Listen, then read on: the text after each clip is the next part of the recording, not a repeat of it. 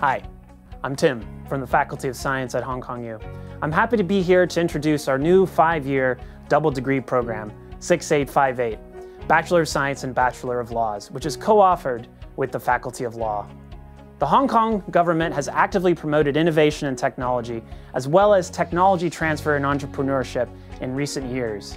This program is the first of its kind in Hong Kong, which aims to meet the needs of a new generation of students with both scientific and legal knowledge.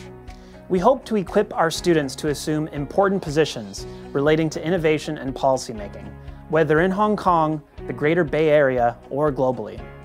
In this STEM-driven society, a broad science background is increasingly crucial to the work of patent professionals.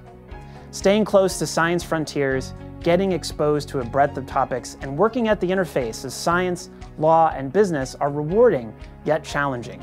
This is not something that students with a single skill set can master easily. We are looking for talented individuals who have true potential to excel in all these fields.